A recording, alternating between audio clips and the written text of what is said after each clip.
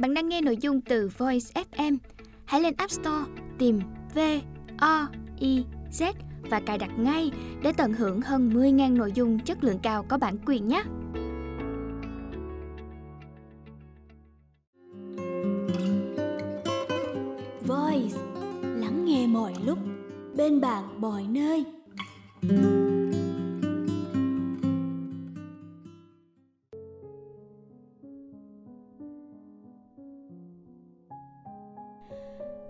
Nghe sách Nam Phương Hoàng hậu cuối cùng của tác giả Lý Nhân Phan Thứ Lan.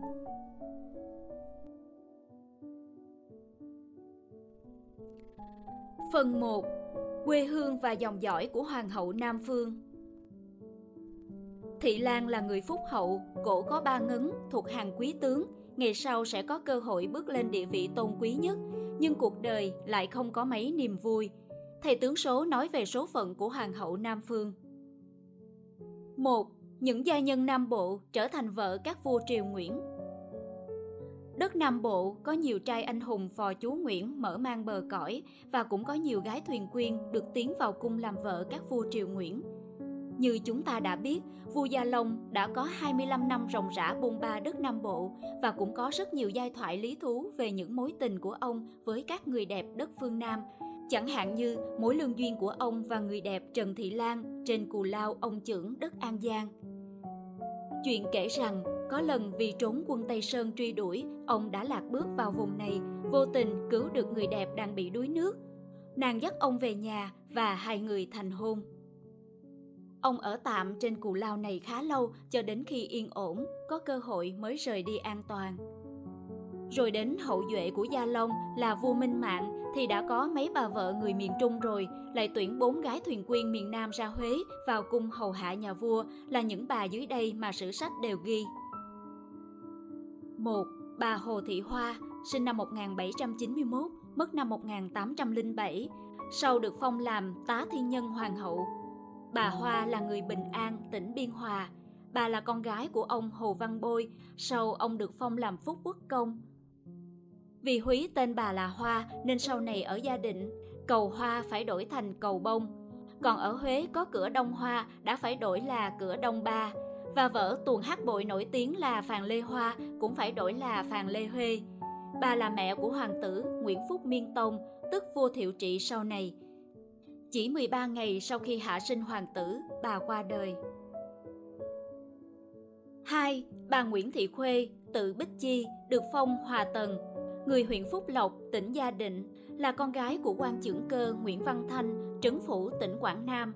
Bà Bích Chi sinh được bốn hoàng tử và sáu công chúa. 3. Bà Nguyễn Thị Xuân được phong cung tần, người gia định, là con gái của chính đội Nguyễn Văn Châu. Bà này sinh được một hoàng tử tên là Miên Ký, một người giỏi văn chương trong triều tự Đức và được phong tước Cẩm Quốc Công, cùng một công chúa tên là Nguyễn Phúc Nhu Tĩnh. 4. Bà Nguyễn Thị Bửu, sinh năm 1801, mất năm 1851, được phong là Thục Tần, người gia định, là con của quan tư không Nguyễn Khắc Thiệu, Bà này sinh được bốn hoàng tử là Miên Thẩm, sinh năm 1819, mất năm 1870. Miên Hữu, mất năm 6 tuổi. Hai người kia chết non và ba công chúa là Vĩnh Trinh, sinh năm 1824, mất năm 1892. Trinh Thuận, sinh năm 1826, mất năm 1904 và Tĩnh Hòa, sinh năm 1830, mất năm 1882. Cả bốn người con trên đều trở thành những nhà thơ nổi danh ở đất thần kinh nói riêng và cả nước nói chung mà đến bây giờ người ta vẫn còn phải nhắc tới. Tùng Thiện Vương, Nguyệt Đình, Mang Am và Huệ Phố với những bài thơ tuyệt tác và bất hủ. Đến hậu duệ của vua Minh Mạng là vua Thiệu Trị thì cũng có ba bà vợ người miền Nam là các bà. một Phạm Thị Hằng có tự là Nguyệt, còn theo Việt Nam tự điển của tác giả Lê Văn Đức thì Phạm Thị Hằng, tự hào, là người huyện Tân Hòa, tỉnh Gò Công. Bà là con quan lễ bộ thượng thư Phạm Đăng Hưng. Bà Phạm Thị Hằng về sau được phong là Hoàng Thái Hậu từ dụ. Bà là người hiền thục đoan trang nên được Thuận Thiên Cao Hoàng hậu tuyển vào cung cho làm vợ hoàng tử Miên Tông, tức vua Thiệu Trị. Bà Hằng đã sinh được hai công chúa và một hoàng tử là Hồng Nhậm, tức vua Tự Đức. Bà Từ Dụ sống qua 10 đời vua, kể từ vua Gia Long là lúc bà chào đời cho tới khi tạ thế là năm 1902, tức năm vua Thành Thái thứ 13. Đây là hoàng hậu đã được sống nhiều triều đại, được mắt thấy tai nghe nhiều sự kiện xảy ra trong triều Nguyễn nhất. 2. Bà Nguyễn Thị Nhiệm, tước lệnh phi, người An Giang, Long Xuyên, con của kinh môn quận công Nguyễn Văn Nhân. Bà được tuyển vào cung cùng một thời gian với bà Phạm Thị Hằng, nhưng chỉ sinh được một hoàng nữ là công chúa An Thạnh. Vì vậy, bà chỉ được phong tước là lệnh phi. 3. Bà Nguyễn Thị Huyền được phong tước là Đức Tần, là người miền Nam nhưng nguyên quán lại ở Thừa Thiên, con của khoái châu quận công Nguyễn Đức Xuyên. Bà này sinh được một hoàng tử là Hồng Diêu, sinh năm 1845, mất năm 1875. Đây là vị hoàng tử thứ 25 của vua Thiệu Trị. Tới hậu duệ của vua Thiệu Trị là vua Tự Đức, có một bà vợ người miền Nam là Nguyễn Thị Hương, được phong tước Học Phi, người đất Vĩnh Long. Bà Hương không có con nên đã nhận công tử Ưng Đăng, sinh năm 1869, là con của Kiên Quốc Công Nguyễn Phúc Hồng Cai làm con nuôi. Đến khi vua Tự Đức tả thế, Ưng Đăng được tôn làm vua, tức vua Kiến Phúc. Như trên chúng tôi đã viết, đã có 8 phụ nữ miền Nam trở thành vợ của các vua triều Nguyễn. Đến đời thứ 13 triều Nguyễn, Nguyễn Phúc Vĩnh Thụy, tức vua Bảo Đại, cũng lấy vợ người miền Nam và đặc biệt là ngay khi cưới, ông đã phong vợ mình làm hoàng hậu. Trước đó, dưới triều Nguyễn, khi vua băng hà thì các bà vợ mới được chọn để phong làm hoàng hậu hay hoàng thái hậu. Về người phụ nữ miền Nam thứ 9 được vào cung làm vợ vua Triều Nguyễn là bà Nguyễn Hữu Thị Lan, xin được dành cả cuốn sách để viết đầy đủ hơn, vì bà Nguyễn Hữu Thị Lan, tức Hoàng hậu Nam Phương, cũng là hoàng hậu cuối cùng của Triều Nguyễn. Ở đây cũng xin viết thêm về một bà hoàng hậu Triều Nguyễn đã được nhiều sách báo nhắc nhở đến về công đức và đạo hạnh là bà Từ Dụ hay Từ Dũ. Bà Từ Dụ là người đã có nhiều ảnh hưởng đến các vua Thiệu Trị, Từ Đức, Hiệp Hòa, Kiến Phúc, Hàm Nghi. Sau khi hoàng tử Miên Tông lên ngôi vua, lấy niên hiệu là Thiệu Trị, bà được phong làm chánh phi và được phép ngồi phía sau bức màn nghe những lời vua bàn bạc với các quan đại thần.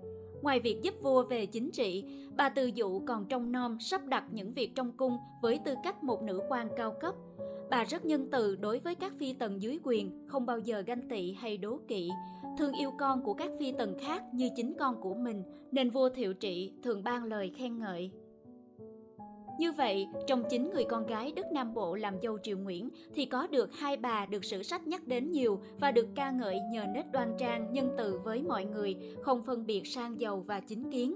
Đó là bà Từ Dụ, tức bác Huệ Thái Hoàng Thái Hậu, vợ vua Thiệu Trị, và Nam Phương Hoàng Hậu, tức Nguyễn Hữu Thị Lan, vợ vua Bảo Đại. Cả hai bà Từ Dụ và Nam Phương đều có nguyên quán là đất Gò Công Nam Bộ. 2. Tiền Giang vùng đất của những đệ nhất phu nhân Nam Kỳ. Trong thời đại của chế độ quân chủ, đất Tiền Giang đã có tới hai bà hoàng là Hoàng Thái Hậu Từ Dụ và Hoàng hậu Nam Phương. Rồi sau đó, cũng tại mảnh đất này lại có thêm hai bà là đệ nhất phu nhân, là phu nhân của Chủ tịch nước Tôn Đức Thắng và phu nhân Tổng thống Nguyễn Văn Thiệu, chính quyền miền Nam trước năm 1975 Giờ đây, ở nơi những bà hoàng này sinh ra, người ta dấy lên phong trào ôn lại công dung ngôn hạnh của các bà hoàng xưa như một cách để tăng thêm sự hấp dẫn cho những phụ nữ miền sông nước này. Mảnh đất thiên sản sinh ra những cô gái đẹp.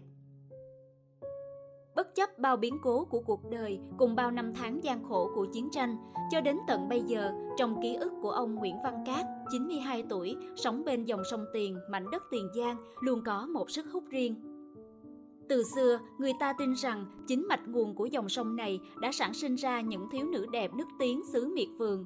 Niềm tin này càng được củng cố khi mảnh đất này là quê hương của hai bà là vợ các vua Triều Nguyễn và hai bà đệ nhất phu nhân. Ông Cát tâm sự Sông Tiền hay còn gọi là sông Mỹ Tho ngày xưa có mạch nước luôn trong veo, không hề có gợn đục. Ngày ấy người ta chỉ việc ra sông múc nước về uống chứ chẳng cần đun nấu gì cả những cái giếng nước người dân đào để sử dụng đều có mạch chảy từ sông vào, lọc qua bao lớp đất cát nên rất ngọt lành. Từ nhỏ các thiếu nữ Tiền Giang đã đắm mình tắm táp trên dòng sông này nên có làn da mịn màng và quyến rũ hơn các vùng đất khác. Sau này, người ta không còn ra sông tắm nhiều nữa, nhưng nguồn nước trong giếng cũng là từ sông cả thôi. Con cụ Trần Văn Bảo thì tin rằng mảnh đất này thiêng lắm, vì nhà ai cũng có tục thờ thổ địa và thần sông với mong ước những người dân sinh ra ở đây được khỏe mạnh, nhất là các thiếu nữ. Thế nên chẳng bao giờ con gái xứ Gò Công này muộn hay ế chồng. Nhiều người lớn tuổi ở Tiền Giang cũng khẳng định với tôi rằng ai đến đây du lịch mà không bớt chút thời gian ngắm sông Tiền thì chuyến đi đó mất đi ít nhiều ý nghĩa. Suốt hai cuộc chiến tranh, con sông này đã chứng kiến hàng trăm trận càn quét. Hiện tại, bao năm sau ngày hòa bình, ngoài vai trò minh chứng cho lịch sử, dòng sông còn mang trong mình những nét văn hóa đặc sắc của địa phương với các hoạt động lễ hội rất ý nghĩa, kể cả những cuộc buôn bán bên sông. Nét đẹp của dòng sông ngày càng trở nên sống động, Nhìn từ phía nào, sông Tiền cũng mê đắm, quyến rũ lòng người. Có lẽ cũng bởi quá yêu dòng sông nên mỗi sáng ở hai bên bờ, người ta ngồi kín bên các quán cà phê cốc để chiêm nghiệm sự thanh bình, để nhớ về một thời đã qua nhưng chưa bao giờ trôi vào quên lãng. Các bà hoàng đi vào sách sử Cũng bởi niềm tin này mà nhiều người già ở Tiền Giang cho rằng để có vẻ đẹp mê đắm nhà vua, chính hai bà hoàng ở Tiền Giang cũng đã có hàng trăm lần tắm mình bằng mạch nguồn tươi mát của sông Tiền. Đầu tiên đó là Hoàng Thái Hậu Từ Dụ.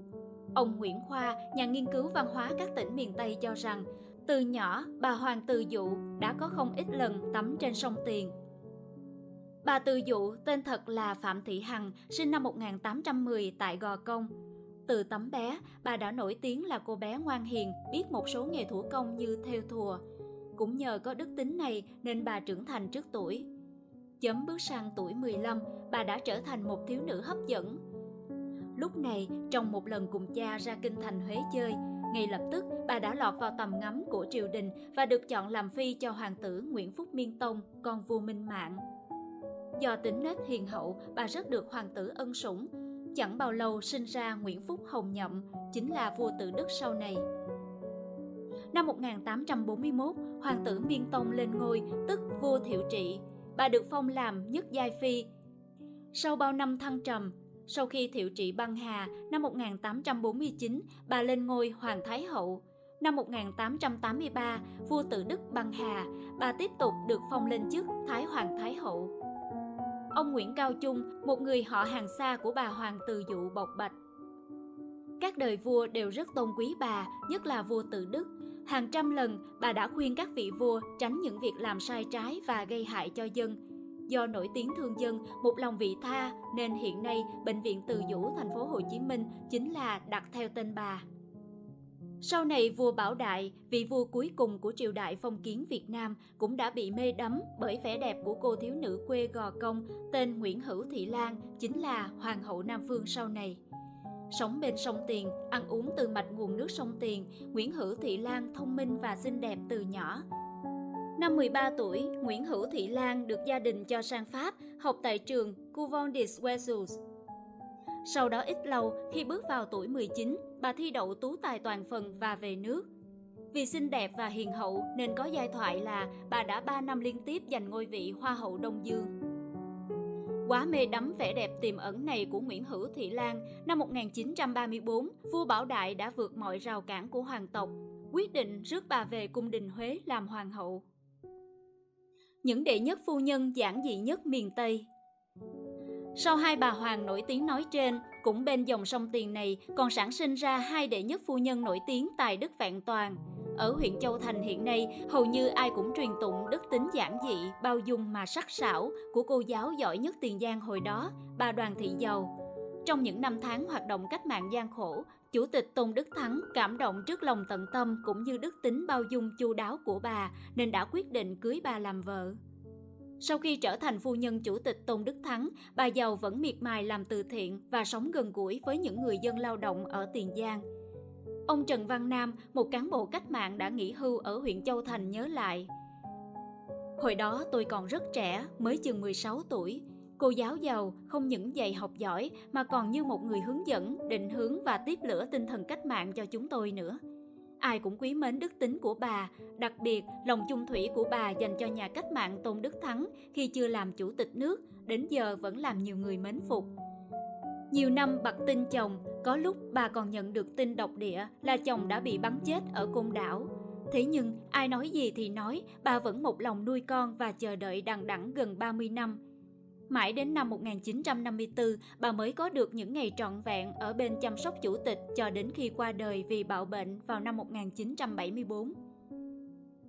Bên dòng sông Tiền hiền hòa này, thời chiến tranh còn có một đệ nhất phu nhân đẹp nghiêng nước nghiêng thành, đó là phu nhân của Tổng thống Việt Nam Cộng Hòa Nguyễn Văn Thiệu, bà Nguyễn Thị Mai Anh. Ông Nguyễn Khoa cho rằng bà Mai Anh có được vẻ đẹp phúc hậu cũng bởi ảnh hưởng từ nếp sống của những người sống bên sông Tiền. Ngày ông Nguyễn Văn Thiệu tôn vinh bà làm đệ nhất phu nhân được tổ chức rất rình rang. Bà Mai Anh có lối sống giản dị, phúc hậu và bao dung, điển hình của người phụ nữ đồng bằng sông Cửu Long.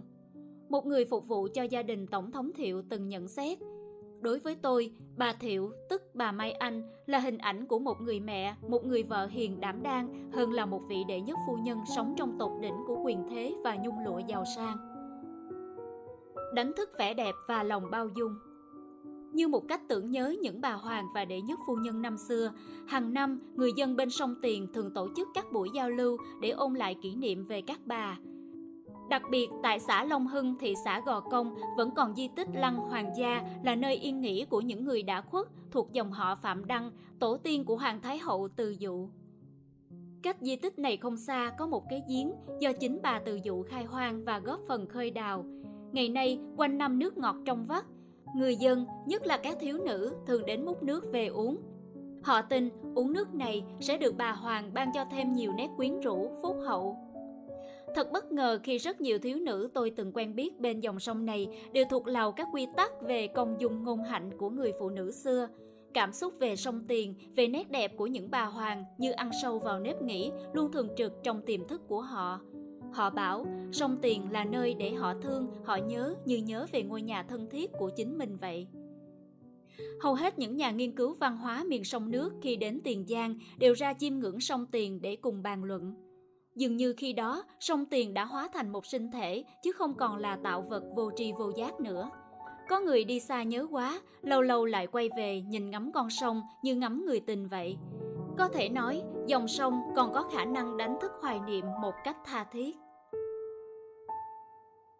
3.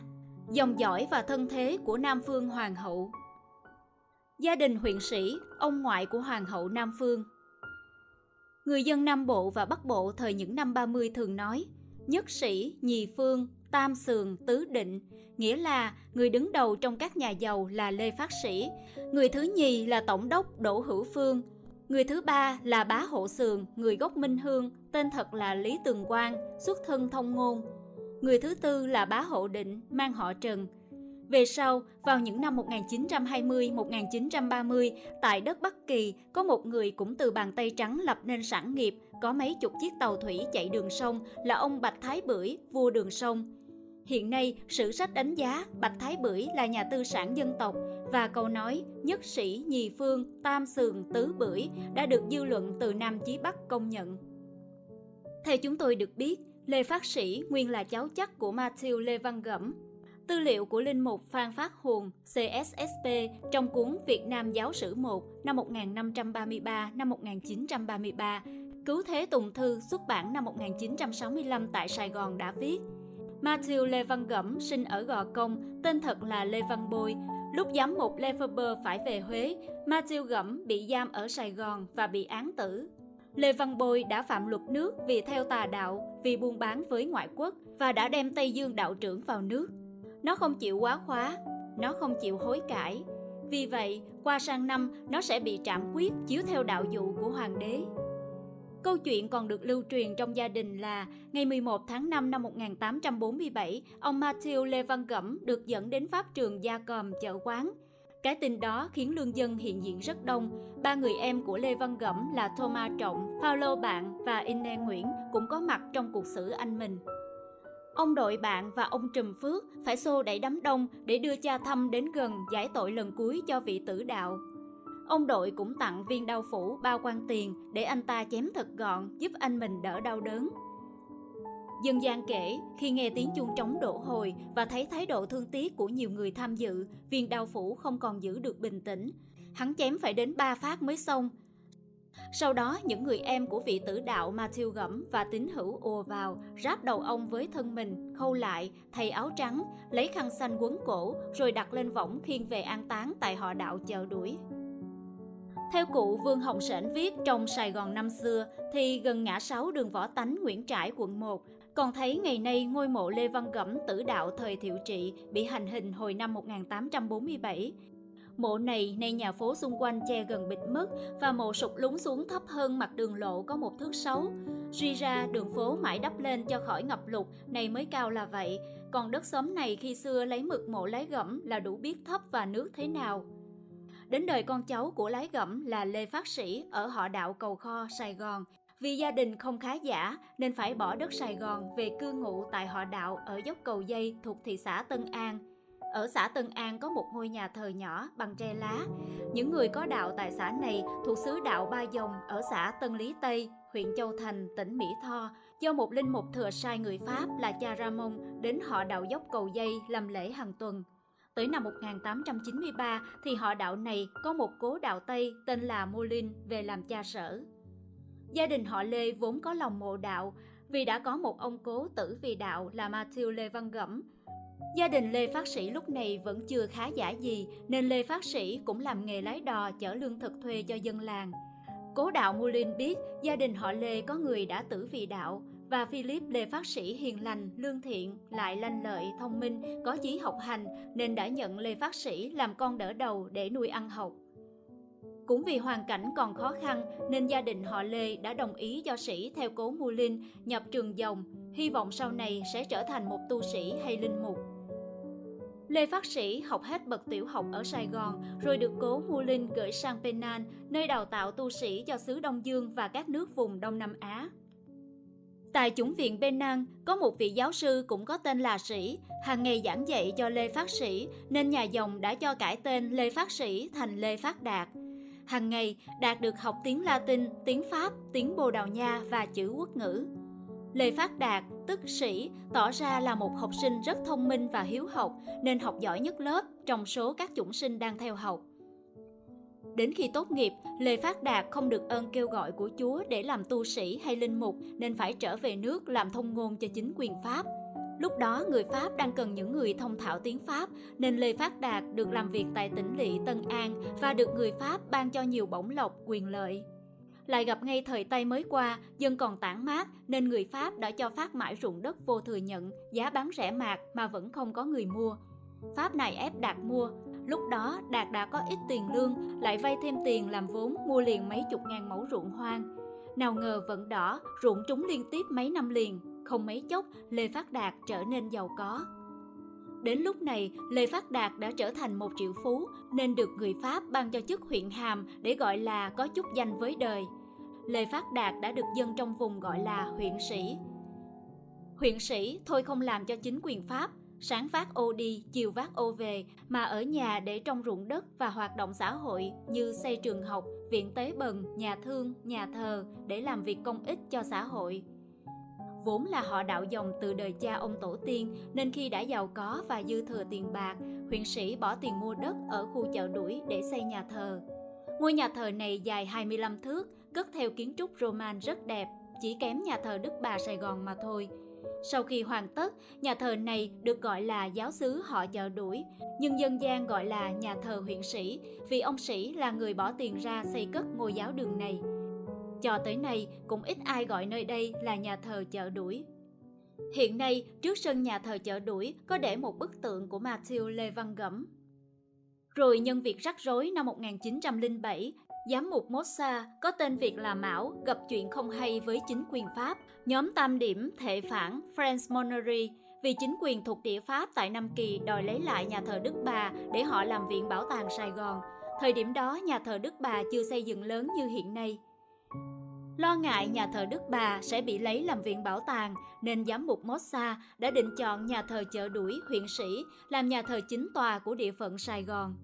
Nhưng rồi những rắc rối cũng qua đi vì nhờ có ba người là thẩm phán người Pháp Naport, ông bác sĩ Angier và thương gia Lacasse đã đi thuyết phục một số Pháp Kiều ở Sài Gòn đừng phản bội hội thánh công giáo mà hãy bỏ phiếu chống lại nhóm tam điểm.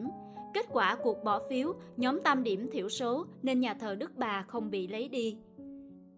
Ngoài việc cúng đất và xây nhà thờ chợ đuổi, huyện sĩ còn dân cúng 600 hecta đất ở vùng Chí Hòa để xây cất dưỡng đường cho các cha bổn quốc người Việt đã có tuổi, đau ốm hoặc về hưu.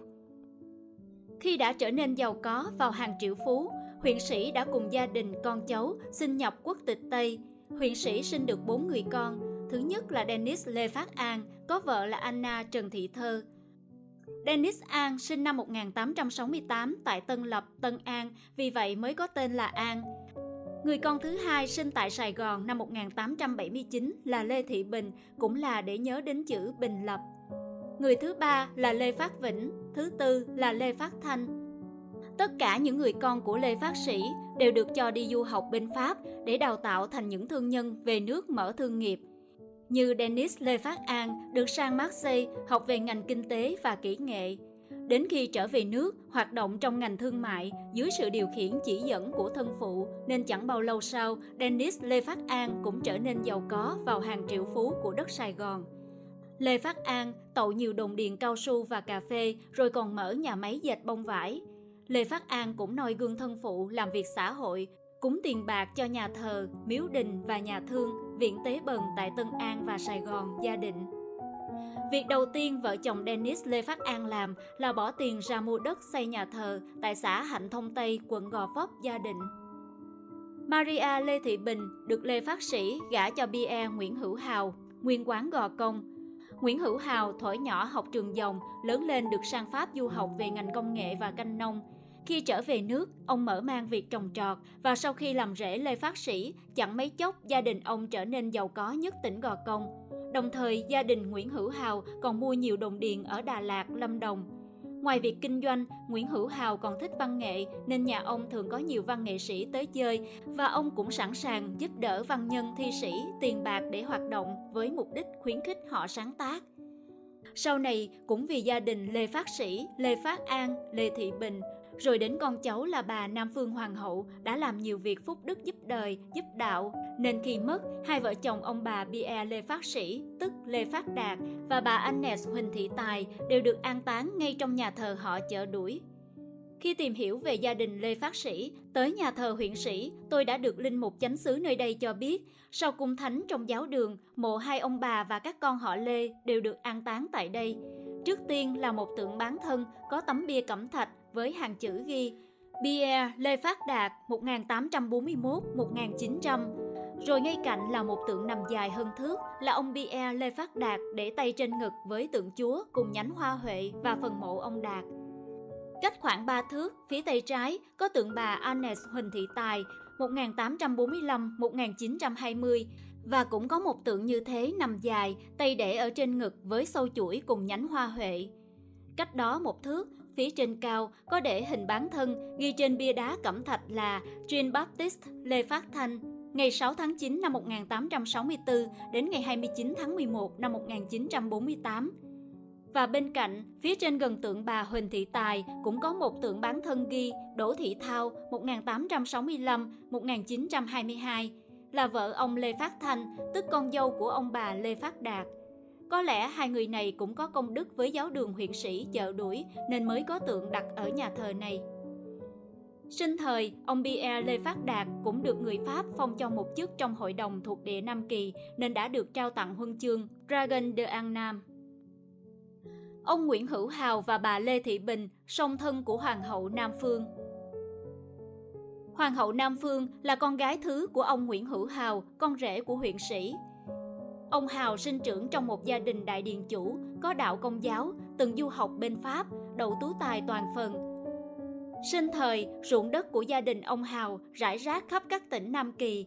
Tại quận Long Mỹ thuộc tỉnh Rạch Giá, sau sát nhập vào tỉnh Cần Thơ, có 1.000 mẫu ruộng thuộc gia đình Nguyễn Hữu Hào. Vì thế, ông chọn địa danh Long Mỹ làm tước phong cho mình, Long Mỹ quận công. Bà Lê Thị Bình, vợ ông Nguyễn Hữu Hào, là một người đàn bà đẹp, phúc hậu.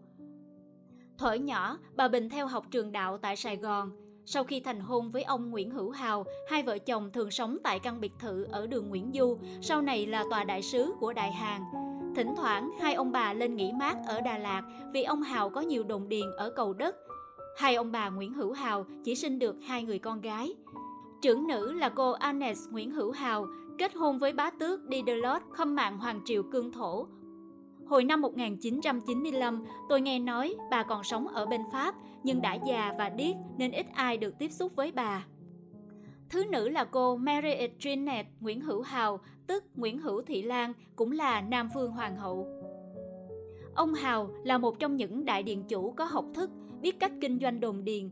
Sinh thời, ông Hào có đồn điền cao su ở Biên Hòa, Bà Rịa, Đà Lạt, nhiều ruộng đất ở Gò Công, Tân An và Rạch Giá. Năm 1935, Hoàng đế Bảo Đại phong tặng cho ông Nguyễn Hữu Hào Long Bội tinh hạng nhất, kèm tước Long Mỹ Hầu trong một buổi lễ tổ chức ở Đà Lạt. Đồng thời, nhà vua cũng phong cho nhạc mẫu Lê Thị Bình tước nhị phẩm phu nhân. Đến năm 1937, Hoàng đế Bảo Đại lại tặng mề đây Kim Khánh hạng nhất cùng mề đây Kim Tiền hạng nhất, những huy hiệu cao quý nhất của triều đình cho cha vợ là ông Nguyễn Hữu Hào. Bà Lê Thị Bình cũng được phong làm nhất phẩm phu nhân. Ngày 30 tháng 8 năm 1937, Hoàng đế Bảo Đại sắc phong cho ông Nguyễn Hữu Hào tước Long Mỹ quận công, Long Mỹ quận công Nguyễn Hữu Hào từ trần ngày 13 tháng 9 năm 1939 được an táng theo nghi thức tước quận công trong một ngôi nhà mồ tráng lệ trên một ngọn đồi gần thác Cam Ly, Đà Lạt. Lăng Nguyễn Hữu Hào do chính gia đình Nguyễn Hữu Hào bỏ tiền ra xây cất. Lễ quy lăng được cử hành ngày 10 tháng 9 năm 1941 Ngày đó là một sự kiện lớn tại Đà Lạt khi hoàng gia, gia quyến ông Nguyễn Hữu Hào, các quan lại cao cấp Pháp Việt đều có mặt đông đủ, nơi tổ chức buổi lễ là nhà thờ Thánh Nicholas. Nhân dịp này, Nguyễn Tiến Lãng, bí thư của bà Nam Phương Hoàng hậu, có viết một bài bằng tiếng Pháp đăng trên báo L'Indochine số 58 với tựa đề Le Premier Monument Historique Enamité Đà Lạt, tạm dịch một đài kỷ niệm lịch sử đầu tiên của người Việt tại Đà Lạt. Buổi lễ quy lăng được tổ chức dưới sự hiện diện của Hoàng đế Bảo Đại và Hoàng hậu Nam Phương, bà bá tước Didelot, chị ruột Hoàng hậu, cùng chồng là bá tước Didelot, khâm mạng Hoàng triều cương thổ. Ông bà Lê Phát An, tức An Định Vương, cậu ruột Hoàng hậu. Toàn quyền de Khu và vợ là Susan, giám mục Casseigne Rapier, không sứ Trung Kỳ Grandjean, một số quan khách Pháp Việt Bà Susan là bạn thân của Hoàng hậu Nam Phương. Thỉnh thoảng từ Sài Gòn, bà Susan lên Đà Lạt và ở chơi với bà Nam Phương vài ba ngày. Bà Susan là người công giáo, ngoan đạo, đóng góp nhiều tiền bạc cho nhà thờ Thánh Nicola. Trong một chuyến đi lên Đà Lạt thăm bà Nam Phương, bà Susan bị tai nạn, xe lật trên đèo Brent và tử vong. Thi hài bà được chôn phía sau nhà thờ kể trên. Hiện nay, trên lăng mộ của ông Nguyễn Hữu Hào hiện còn hai văn bia do hai người con gái là Hoàng hậu Nam Phương và phu nhân Didelot tạo dựng nhằm truy niệm công đức sinh thành của thân sinh. Hai văn bia này bằng đá xanh đen có kích thước khá lớn, chữ khắc tốt, họa tiết trang trí đẹp. Đặc biệt, hai văn bia có nội dung giống nhau nhưng khác nhau về hình thức, kích thước và được khắc với hai thể chữ cũng khác nhau. Thời thơ ấu của Hoàng hậu Nam Phương Hoàng hậu Nam Phương có tên theo Pháp tịch là Jean Mariette Nguyễn Hữu Hào. Còn tên Việt Nam là Nguyễn Hữu Thị Lan. Bà sinh ra tại Gò Công, nơi thuộc thị xã Gò Công, tỉnh Tiền Giang vào ngày 14 tháng 12 năm 1914. Sinh ra trong một gia đình giàu có, cuộc sống của thiếu nữ Nguyễn Hữu Thị Lan cùng người chị gái quả thật rất sung sướng, đầy đủ, được cưng chiều. Họ đã trải qua thời thanh xuân êm đềm và mơ mộng, và có lẽ đó là giai đoạn hạnh phúc nhất đời của người thiếu nữ sau này trở thành hoàng hậu. Theo những bức hình chụp trong tờ Lindosin thì cả hai chị em đều cao lớn hơn hẳn những người phụ nữ Việt Nam bình thường. Thay vì ở quê nhà Gò Công, hai chị em đến ở trong căn nhà của gia đình tại Sài Gòn để đi học. Họ ở đường Nguyễn Du, mỗi sáng đi nhà thờ thì băng qua đường Lê Văn Duyệt, tới đường Bùi Thị Xuân chừng nửa cây số là tới nhà thờ huyện sĩ, nơi mà ông ngoại của Hoàng hậu Nam Phương là ông Lê Phát Đạt đã quyên góp tiền của để xây dựng nên. Kể về Hoàng hậu Nam Phương thuở nhỏ, bà Sabine Didelot, cháu ruột của Hoàng hậu nói, Lúc nhỏ, dì Mariette rất sùng đạo, thông minh, học giỏi và tế nhị. Sau khi đã học hành xong ở trong nước, năm 12 tuổi, Mariette Nguyễn Hữu Thị Lan được gửi sang Pháp theo học tại trường nữ sinh danh tiếng Couvent des Oiseaux Paris. Đây là trường do các nữ tu dòng Đức Bà điều hành, đào tạo học sinh hết sức nghiêm ngặt. Để được nhập học, học sinh phải đáp ứng đủ 3 điều kiện. Thứ nhất, phải là con nhà giàu có, trang phục phải tuân thủ mẫu đồng phục do nhà trường đưa ra, đồng thời gia đình cũng phải thường xuyên đóng góp cho nhà trường. Thứ hai, phải đáp ứng kỷ luật khắc khe của nhà trường. Thứ ba, học sinh phải học giáo lý hàng tuần do nhà trường giảng dạy và tham dự các lễ nghi công giáo, dù không có đạo cũng bắt buộc phải tham dự. Trong quá trình học tập ở đây, cô Thị Lan nhận được sự hậu thuẫn rất mạnh về tài chính từ người cậu Dennis Lê Phát An. Nguyên nhân là do ông cậu này không có con cái nên dồn tất cả tiền bạc cho các cháu ăn học. Khi Thị Lan mới nhập học ở Pháp, có một thầy bói người Tàu đến coi tướng và nói với ông An rằng tuy Thị Lan là người phúc hậu, cổ có ba ngấn thuộc hàng quý tướng, ngày sau sẽ có cơ hội bước lên địa vị tôn quý nhất, nhưng cuộc đời lại không có mấy niềm vui. Dù vậy, ông An vẫn cảm thấy thích thú với lời tiên đoán sẽ có một người làm nên danh phận tạo sự vẻ vang cho dòng họ Lê. Tại Pháp, cứ mỗi lần cuối tuần thứ bảy chủ nhật được nghỉ học, Thị Lan được cậu An đánh xe tới trường Couvent des Wessels để đón về nhà ăn cơm với gia đình. Cuộc sống cứ êm đềm diễn ra như thế, cho đến năm Thị Lan 18 tuổi, cô tốt nghiệp tú tài toàn phần, tương đương với tốt nghiệp trung học phổ thông ngày nay và lên tàu để quay về Việt Nam.